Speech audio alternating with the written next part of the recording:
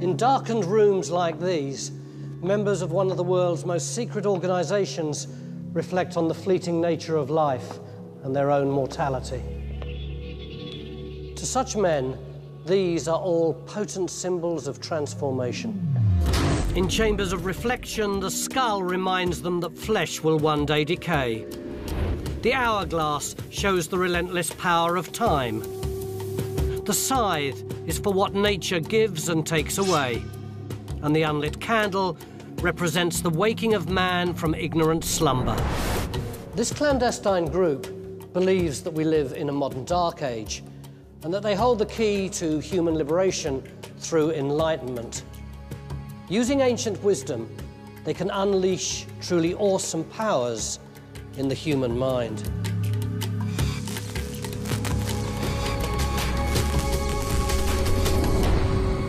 Welcome to the world of the Freemasons. Or at least that's what one of the world's best-selling authors would have us believe. Thank you, Alice. Welcome to the world of Dan Brown's Lost Symbol.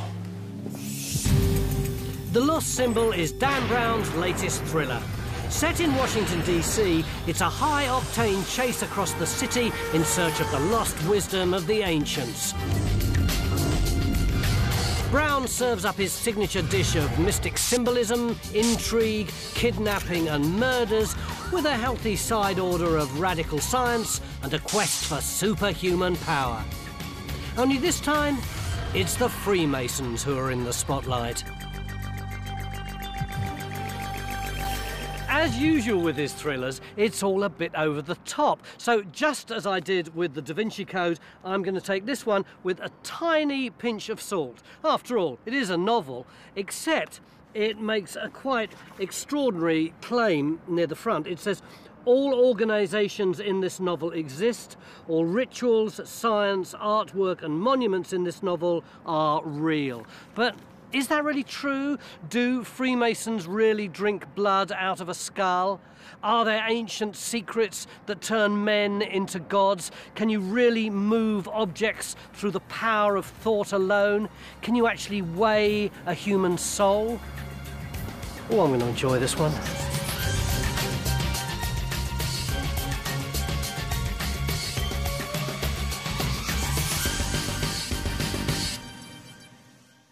The Lost Symbol is all about the Freemasons. The book kicks off with a sinister sounding initiation ceremony.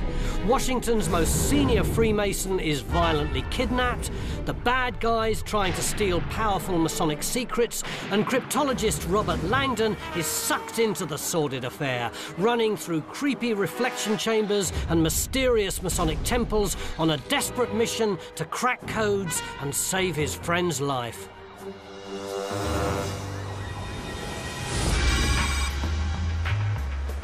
But the strange thing is, on reading the book, you discover that Dan Brown absolutely loves Masons. He thinks they're the most trustworthy people in the world, which is just as well, because they are the guardians of a secret ancient knowledge. They hold the key to mysterious powers, which, if they fell into the wrong hands, would be incredibly dangerous.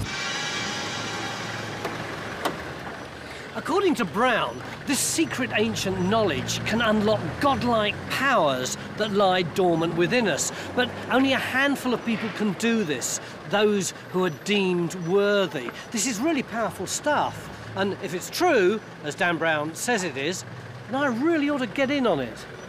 Thank you.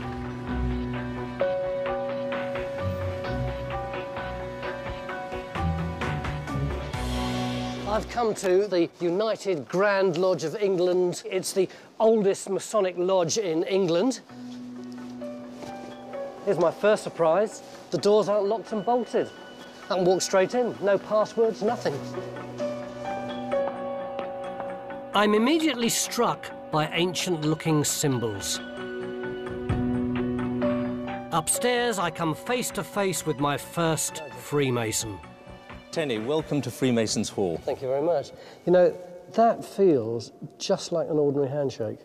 Tony, that's exactly what it is. It's a perfectly normal handshake. I'm slightly disappointed by that. So you're not going to threaten me with death if I divulge any of your secrets? Not at all. Can I see the chamber of reflection? There is no such room here. Oh, no? So Dan Brown got it just a little bit wrong? He did. Come show me around. Pleasure.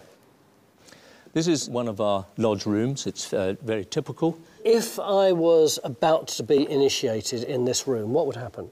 Would you be blindfolded? You are blindfolded when you first come in because you're coming from the darkness into the light. You're being born, if you like. Dan Brown says that you swear an oath that says that you won't give away any Masonic secrets and that if you break them, all sorts of horrible things will happen to you. Well, that's entirely historical, and uh, th- they were purely symbolic in the old days anyway. I'm almost embarrassed to ask this. Do you really roll a trouser leg up? The answer to that is yes, we do. Really? On the first ceremony. Why? This is again symbolic that when you were working in the quarries, you had to roll it up to show the state of your leg because if it was diseased or weak, then you wouldn't have the strength to work in the quarry. Now, the key thing to note is that's the only time, and we don't walk around with our trouser legs rolled up. Medieval stonemasonry is the source of the symbols, rituals, and language of Freemasonry today. It's also the root of much of its secrecy. Once the builders of fabulous castles and cathedrals, stonemasons were considered to be masters of a magical art. They were important members of society, answerable to kings and bishops, and the skills they passed on to their apprentices were jealously guarded. In a period of mass illiteracy, it's likely an elaborate system of secret handshakes and passwords identified members of the stonemason fraternity. It's thought that the very first Masonic groups evolved out of stonemasons' guilds, eventually dropping the artisan element but maintaining the secret rituals. And stone carving tools are used to express their moral philosophy today. This is the compass, do you call this? Yes, this shows the unerring and impartial justice of the Almighty. And that? This square teaches us all about morality, What's it all about? What's it for? friendship. The joy for me is that our members can all meet together in harmony and equality.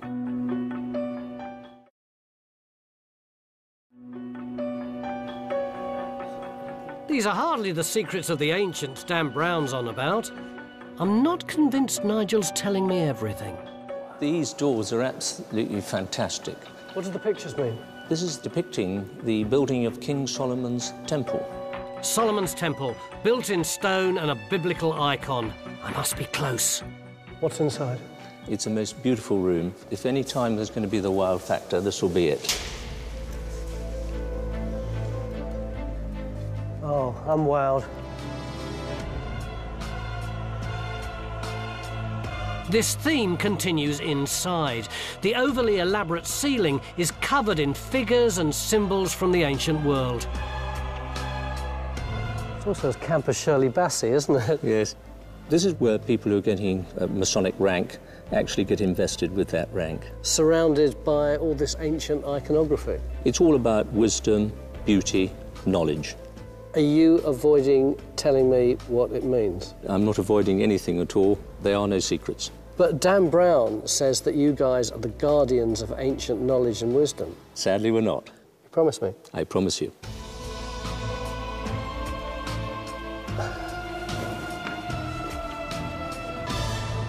Well, it all seemed pretty open and honest in there, but disappointing, really.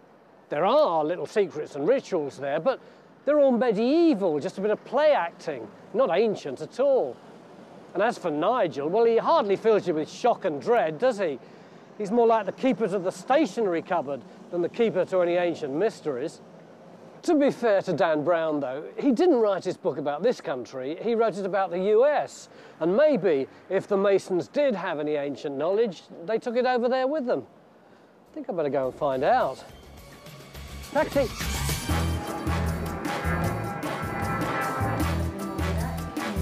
I'm in Washington, D.C. on the trail of Dan Brown's lost symbol.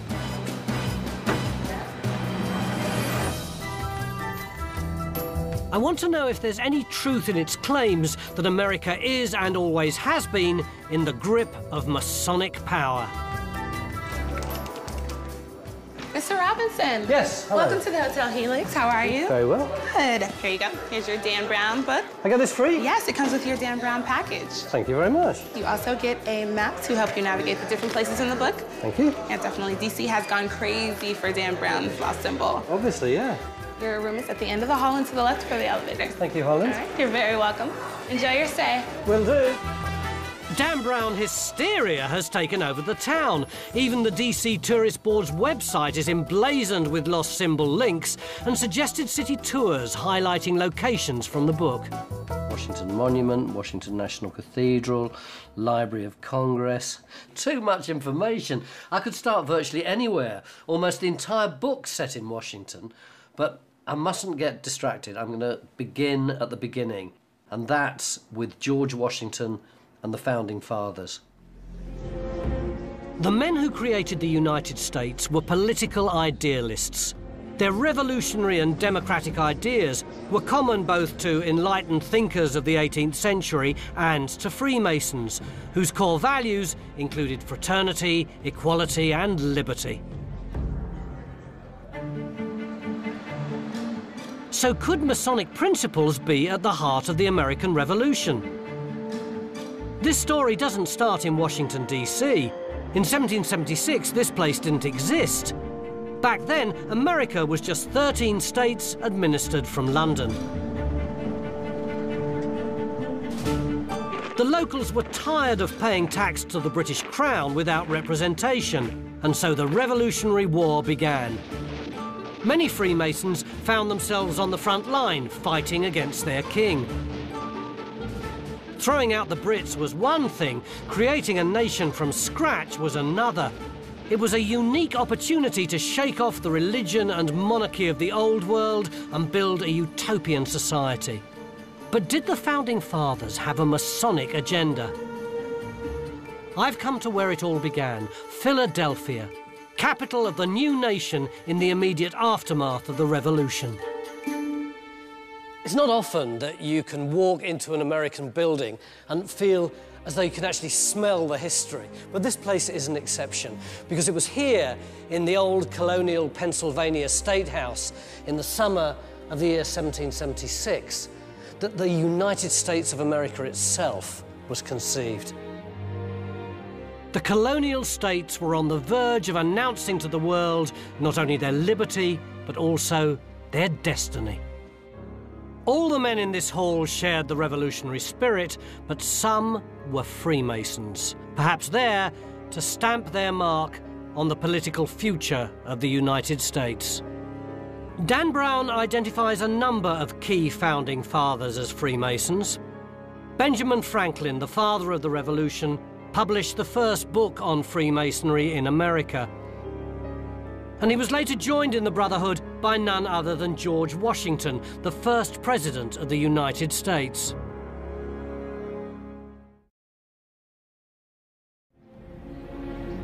Here in Alexandria, just a few miles from the White House, is George Washington's National Masonic Memorial. It commemorates Washington the Mason. It houses his Masonic possessions and a vast statue of him in apron and full regalia. So some founding fathers were Masons, but did they really have significant influence? Could these be the Masonic states of America? If so, we should be able to see the mark of Freemasons in their political statement of intent, the Declaration of Independence. If this is a Masonic plot, then it should be riddled with their language and ideas. This is it. This is the real Declaration of Independence. Unfortunately, it was kept in front of a fireplace uh, with the sun blazing into the room for about 70 years. So it's degraded, and virtually the only thing that you can see is that hand mark down there, which is the hand mark of one of the founding fathers who really should have scrubbed up a bit before he signed the document. Fortunately, around about 1820, they made a copperplate copy of it, so we can actually still see what's written there. You see, about the third line from the top, there's the famous bit. We hold these truths to be self evident that all men are created equal. And then, about three or four lines from the bottom, they are absolved from all allegiance to the British Crown. And all political connection between them and the state of Great Britain is and ought to be totally dissolved.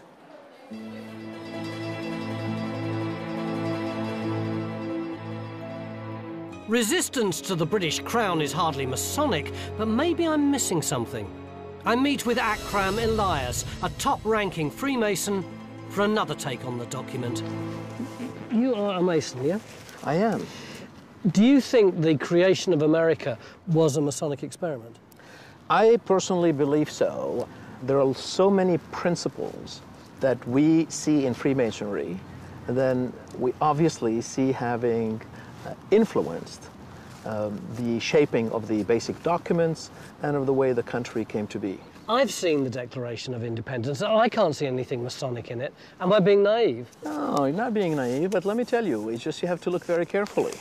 Here's the uh, a copy of the Declaration of Independence. Just look here, right here, the second line. The law of nature and of nature's God. This is at the heart of the entire document. The founding fathers of our country and more especially the Masons among them, believed in the natural order of the universe. And if you look carefully at the rituals of Freemasonry, more especially the Fellowcrafts uh, ritual, there is a very important lecture. This is something that's contained within the secret black book of the Masons? I don't wouldn't call it the secret black book, but I would call it the ritual of Freemasonry. It is, is secret and it yes. is black. This is part of the teachings in the second degree. It says that the entire endeavor is to imitate the divine plan which manifests itself in nature. Like the pursuit of happiness? Oh, my God, you put your finger on the most important thing, the in pursuit of happiness. Oh, absolutely, right here, inalienable right. The right to life, liberty, and the pursuit of happiness. Our aim is to be happy and to work towards the promotion of happiness. But is this really Masonic text? or just the utopian language of the day. One man holds the key. Here in his memorial, he stands high and proud, the intellectual father of the nation, Thomas Jefferson. He was the principal author of the Declaration of Independence, and his idealistic words are woven tightly into the very fabric of the United States. If America was anyone's vision, it was his. The progressive values Jefferson championed, liberty, equality, and representative democracy, were in tune with Freemasonry, as were his calls for universal education. This ideal was set in stone in the Library of Congress, which grew out of his own personal collection of books. In The Lost Symbol, the hero Robert Langdon takes refuge here momentarily stalling his escape from the CIA to marvel at its architectural glory.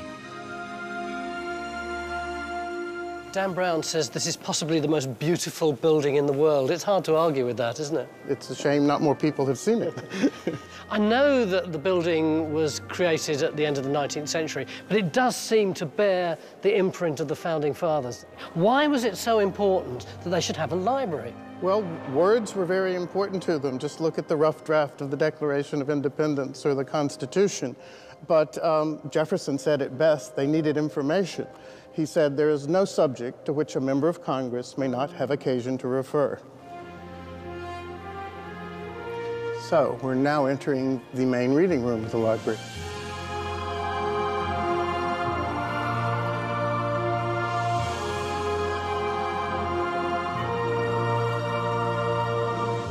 It's like a huge exercise in self-improvement. Yes, well, and that's what all of these figures are here to represent. The female allegorical figures that represent the highest pursuits of the human mind, science, law, poetry, history, philosophy. And not particularly Christian? No, no, very secular. Religion is here, but she's just one of eight figures. It's almost Masonic, isn't it? Well, it's not a Masonic building. It just shares some of the same iconography. And I really think it's one of the most magnificent rooms in Western architecture.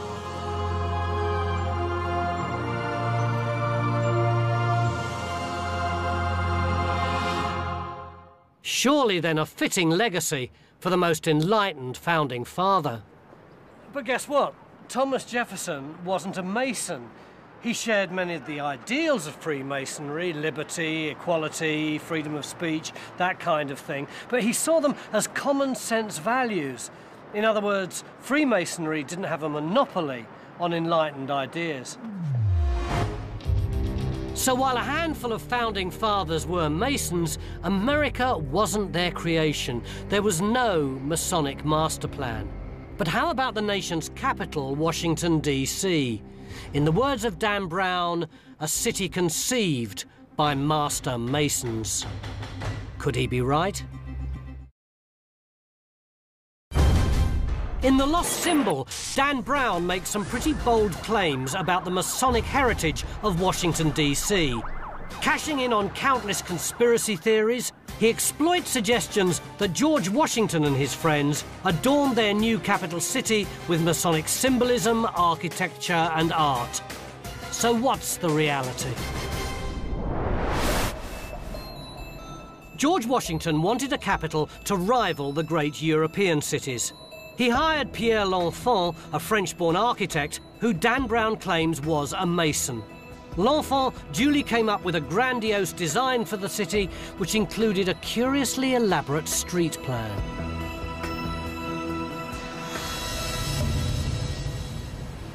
This is the original L'Enfant plan of Washington, and you can see that it's designed in a grid shape, but it's not the standard grid that you might get in somewhere like Milton Keynes or Harlow Newtown. There are lots of stars exploding all the way over it. And in addition, there are all these diagonal lines, all these avenues crisscrossing the grid as well. And what that means is that if you look at it very closely, shapes start to emerge out of it, little, little symbols and things. Above the White House, a pentagram, Masonic. Between the White House and the Capitol, a set square, really Masonic. And apexed on the Capitol, a compass, super Masonic. Some people say it isn't coincidence. It's a deliberate attempt to imprint Masonic symbolism onto the city. It's certainly intriguing enough to visit one of Washington's top architects to get his opinion. L'Enfant found a new way of combining the geometry of radiating avenues that was more orderly and I believe was expressive of our new government. But it's been argued that there's actually a Masonic logic about the city itself, that in a sense, uh, the, uh, the city is the ideology of the Masons in stone. It's an interesting idea, and one can find in looking at the plan geometric symbols.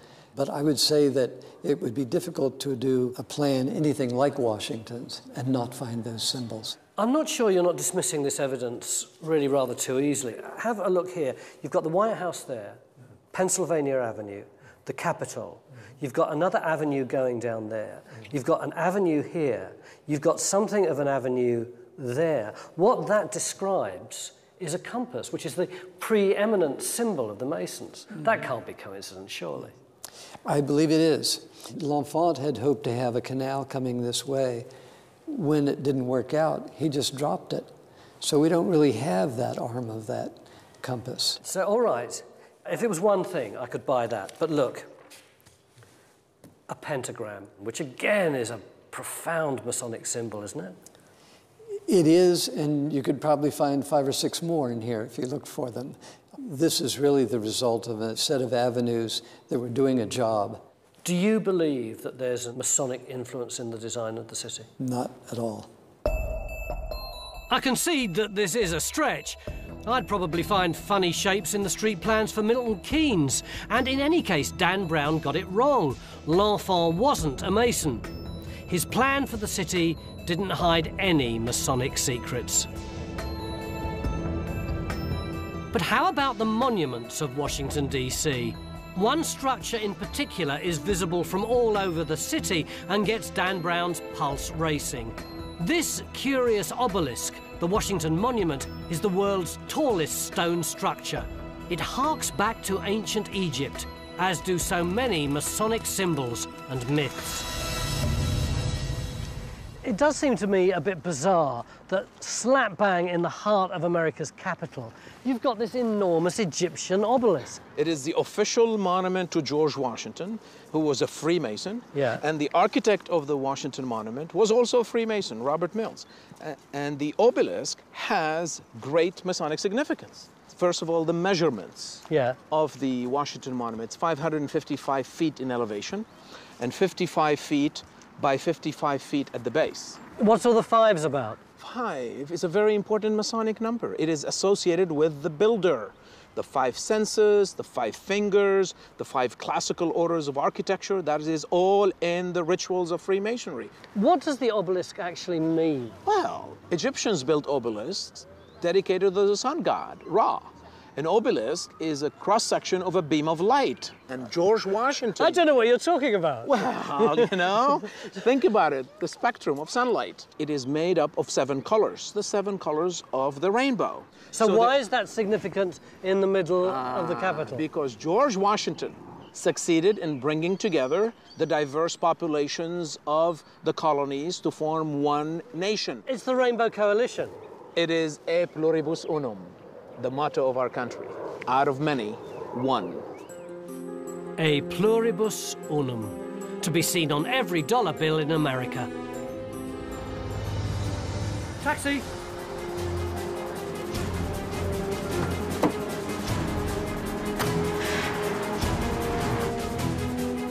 Our hero Robert Langdon and the beautiful scientist Catherine Solomon are in a cab heading down Pennsylvania Avenue because they're trying to escape from the CIA. And behind them, the lights are flashing, and there's trucks and there's cars.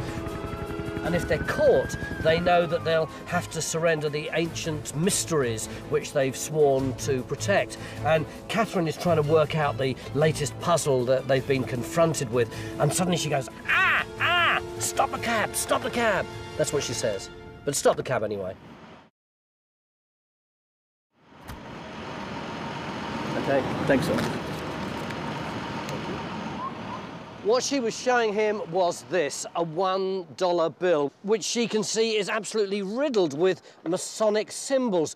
You see this unfinished pyramid? That's a massive Masonic symbol. And above it, you've got an all seeing eye. That was such a big Masonic symbol that George Washington had one of these on his Masonic apron. But this is the, the weird thing. If you alter the triangle created by the eye and the pyramid into a Solomon's seal, another word for the Star of David, by doing that, see what letters all the ends of that Star of David are pointing at. M, A, S, O, N, Mason. And if that isn't mind boggling, you've got exactly the same image here at the very centre of Freedom Plaza in the heart of the nation's capital. This is one of the most famous pyramids in the world. According to Dan Brown, no image in history has been printed more. And probably none have created such Masonic debate. The pyramid is one half of the Great Seal, America's national emblem. The flip side shows an eagle clutching 13 arrows and 13 olive branches behind 13 stars and 13 stripes. The number 13 being a Masonic power number. I've gone right to the top to find out if this has any significance. I don't want to be disrespectful to your great country, but what's this weird eye in a hayrick? Well, the all seeing eye, the eye of providence, is an ancient symbol. It has often been associated with uh, Freemasonry, but it is just as often in a context outside of Freemasonry. The eye and the pyramid were from a common fund of symbols that were available to anyone. You say it's often associated with Freemasonry, but uh, look, look at this too. You've got these 13 courses of bricks, and on this side you've got the 13 stars, you've got 13 leaves, 13 berries, you've got 13 arrows. Paul, that is a lot of 13s. Yes, well, it, uh, it was very deliberate. 13 for the 13 uh, states of the United States of America. Nothing at all odd about that. So you don't think that anything here is a Masonic code? Based on a study of the evidence, I would say it's not. Uh, the designers of the seal and the Freemasons were using a common fund of images that were out there and that could be used by anybody. So while there's no doubt that Washington was founded by a Freemason, most of the city's supposed Masonic symbols are nothing of the sort. There is, though, one curious aspect of Brown's vision that I still need to investigate. His incredible claim that godlike powers lie dormant within us all. Dan Brown's novel, The Lost Symbol, is a start to finish chase across Washington, D.C. The forces of good and evil struggle over the possession of secret ancient knowledge that can give man divine power. Both sides will stop at nothing to control these secrets.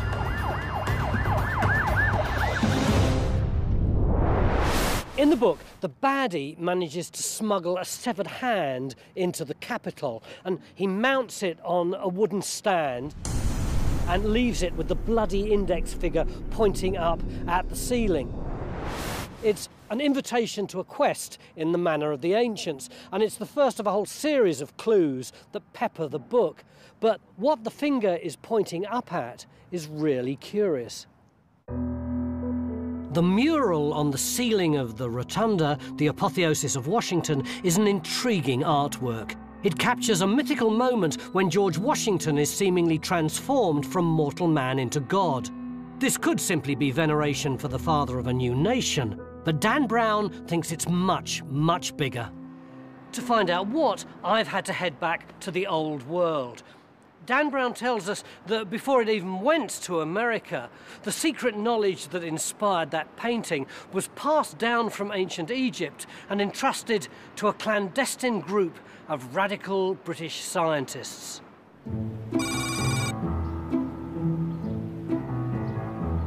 Brown believes that this knowledge, the secret wisdom of all the ages, can unlock extraordinary abilities in the human mind and imbue mortal men with godlike powers. He explores this theme again and again and tells us that this knowledge was secretly lodged with a group of 17th century scientists, including Robert Boyle and the great Isaac Newton. It was so dangerous, he says, that they were forced underground, calling themselves the Invisible College. This building, housing Oxford's Museum of the History of Science, is where some of them met behind closed doors. In what way was the Invisible College invisible? Well, it wasn't really invisible for any kind of persecution reasons. It was a sort of society, a group of gentlemen coming together. All of them were men of high profile, all of them were high education, and all of them were men of great intellectual power. I thought that they were invisible because they were frightened of being persecuted for all their new ideas. Yeah. Now, I mean, the kind of thing they were talking about came out of classical experimentation or classical writing, and also a very well established English experimental and European experimental tradition into geomagnetism, into astronomy, into microscopy, into meteorology, into engineering science. There was an incredible openness when it came to discussing the natural world. I think invisible simply means a private group of friends. According to Dan Brown, the advances they made in human understanding were because they had access to ancient wisdom. Do you think that's right? I would regard that as nonsense lit up in bright neon lights and screaming it through megaphones. What they were drawing on was medicine, astronomy, chemistry, all of these kind of disciplines. There was no occult tradition in them. So you wouldn't buy into the notion that we've lost this ancient wisdom, and if we can only re-find it, then we'll be in at the birth of a whole new world? In no way whatsoever. I think we're dealing here with a trainload of fantasy and with a thimbleful of fact. Well, once again, my search for ancient secrets and godlike powers has stalled. But Dan Brown assures us the science in his book is all real. A good chunk of the lost symbol is given over to a discussion about noetic science, looking at the power of thought. Dan Brown even says that people can move solid objects just through their mind alone. Brown says that a focused thought can affect anything. The direction fish swim round in a bowl, the manner that cells split up in a petri dish, the way a plant grows. But is that kind of thing true? Or is it just a little bit far fetched? Is it possible to wear a human soul? it's been tried. It's been tried. And um, shall we say the results are decidedly mixed. What is noetic science? Parapsychology study of unusual powers of the mind, really some cutting edge work. Do you think it's possible for thought to move things? I'm trying to levitate your chair right now. no, actually, I don't think move things as such. Um, influence processes, yes, I think that may be possible. In the way that Dan Brown says? More or less, yes. But this is all still in the realm of research and experiment, isn't it? None of this is done and dusted. Oh, absolutely not. No, no. I mean, it's it was rather amusing to to get the flavor from Dan Brown's book that uh, you know we're on the verge of a breakthrough and we're going to be complete new understanding of human consciousness.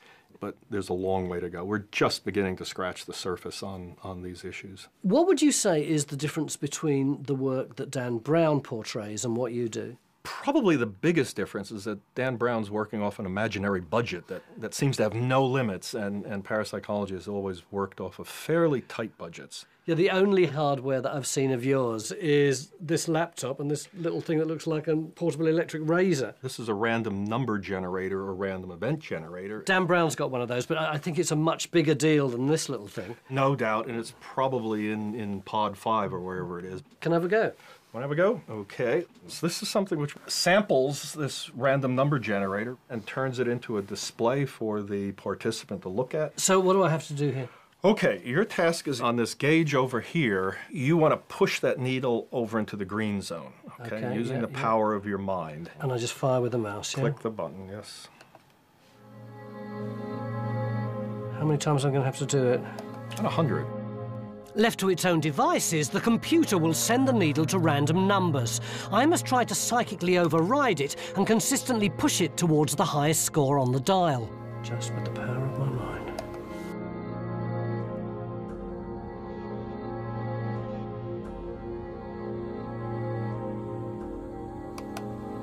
Giving myself a headache. A hundred.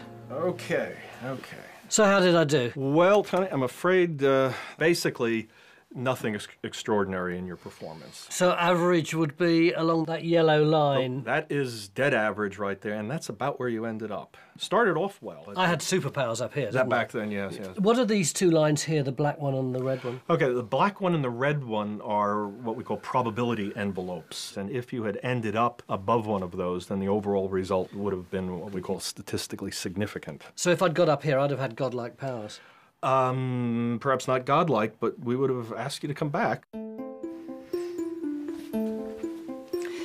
Even though I was so boringly average in my experiments, I do know that some of the work that Richard has done has come up with some quite remarkable results.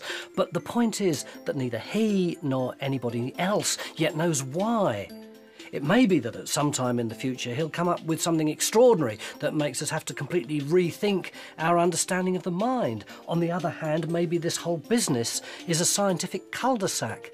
But at the moment, they're just in the foothills. They're not about to come up with something world-shattering like Einstein and Newton and Galileo did.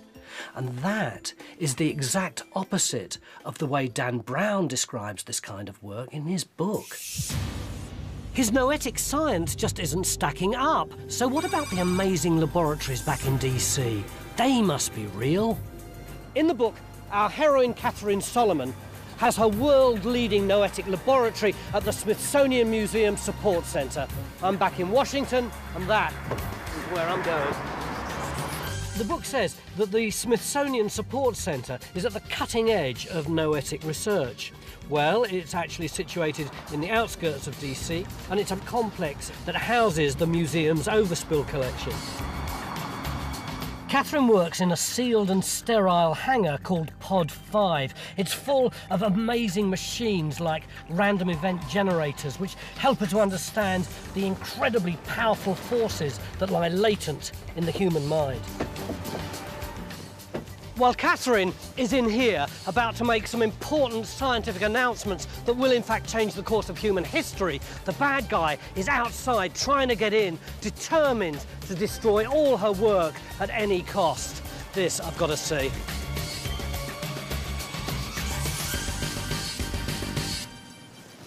This is just like I imagined it would be from the book, Liz. What's in here? We have 55 million different things in here, so a lot of variety. What kind of stuff? Well, most of it's from the National Museum of Natural History, so things like plants and rocks and stuffed animals and skeletons. And do you really store it in pods? Yes, we have five storage pods. Can we see one? Yes, you can.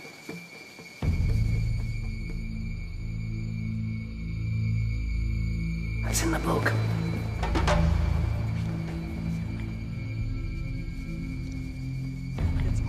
Pod 4. No turning back now. I can feel the hairs on the back of my neck standing on end.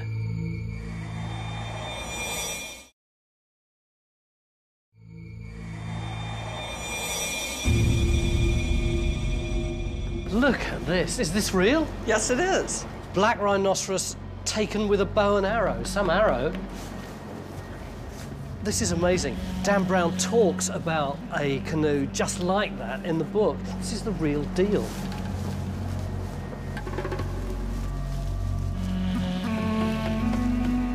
Liz, why have you got a big cat on a shopping trolley? It's in here getting a little refurbishment.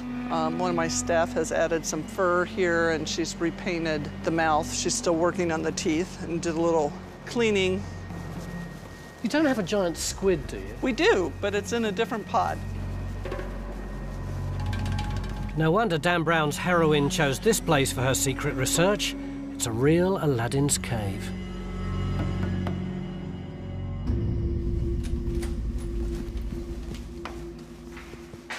Oh, this is, this is absolutely amazing. In the book, Katherine's assistant Trish gets murdered in this great big case with the giant squid in it. The baddie chucks her in at the top. He forced down, kicking and screaming, trying to remove the ethanol which is flooding into her lungs, but she fails absolutely and dies amid a tangle of tentacles. That's right, isn't it? Well, in the book, she did die in a tank like this, but that's an octopus. It doesn't matter. That, eh, this, is, this is just as near as you could possibly get. What about pod five? Where's pod five? You're in pod five. But pod five is gigantic and empty. No, it's gigantic, but it's completely full. We have 25 million specimens in here. What about the cube that Katherine does all her work in? No, we don't have a cube. So where do you do your noetics? We don't do noetics here. Nothing to do with mind over matter? No. Any spoon bending? No, but we do study squid. This is disaster. I was brought up so high in the air with a giant squid, and the next minute they come crashing to the ground because pod five isn't what we thought it was, the cube isn't here, and you don't do any noetics. No, and we don't have Trish in a tank either. Oh, come on. Another damp squid. It would seem that almost nothing of Dan Brown's book that we've investigated is quite as factual as he makes out. But what of Brown's assertion that even today the Masonic ranks are stuffed with the great and the good? A state secret that must be preserved at all costs, or the entire edifice of American society will come crashing to the ground. Do the Freemasons really rule the world? I'm sure the answer lies in the House of the Temple, just a few blocks from the White House. The lost symbol climaxes in this very building. Our baddie is inside, trying to leak the covert video he shot of his own initiation ceremony. Featuring sinister death threats and disturbing rituals, it also shows the faces of rich and powerful Freemasons, including senators and the CIA director. If it gets out to the press, it threatens to bring the government crashing down. If anyone knows the truth, it's Brent Morris, one of the highest ranking Masons in the United States. I ask if the Masonic ranks are full of the rich and powerful. While we are indeed extremely proud of, of members that we've had, the 14 presidents of the United States and the astronauts we've, we've had, the fact is that uh, nearly all Masons are uh, from the middle class. Does it bother you that an organization which was once so radical, both here and in Europe, is now almost the epitome of conservative middle class America? That is one of the ironies of Freemasonry. Uh, we were a cutting edge organization. Um, uh, feared by the church, feared by the state because we espouse such radical principles as representative democracy, freedom of speech, and universal education. And today, you're, you're right, we are the epitome of middle class. Are you part of a big global plot? Tony, I'll tell you the truth. If we can't agree on what to serve at Our Lady's banquet, it's hard to imagine we'd be very effective in taking over the world. Have a good tour, Tony. Thank you. Bye-bye, guys. I finished my journey with a guided tour of lost symbol locations. After 12,000 carbon offset air miles, I'm right back where I started, empty-handed and without a jot of a lost symbol. It's been an entertaining romp. I've explored every nook and cranny of this city looking for Masonic clues. But to be honest, I've been frustrated at just about every turn. I think it's time to go home. So, what have I learned from the world's fastest selling novel of all time? Well, the monuments and the organisations may be real, but as for the rituals and the science, I think he's taken more than just a little bit of artistic licence there, don't you? I cannot find one piece of ancient knowledge anywhere, although there is plenty of mumbo jumbo. And as for the way he treats the Masons, well, the ones I've met over here have been rather sweet. Not my cup of tea at all, personally, but hardly a threat to humanity. Now, if I have a big beef with Dan Brown, it's this. He was lazy. Why did he choose the Masons as the basis of a modern conspiracy thriller? It's been done before. But more importantly, why didn't he do what novelists are supposed to do? Make up a story and then tell it to us instead of pretending it's all real. Having said that, I wonder who he'll have a go at next time. The Boy Scouts, maybe? Morris dancers? The Women's Institute? I can't wait.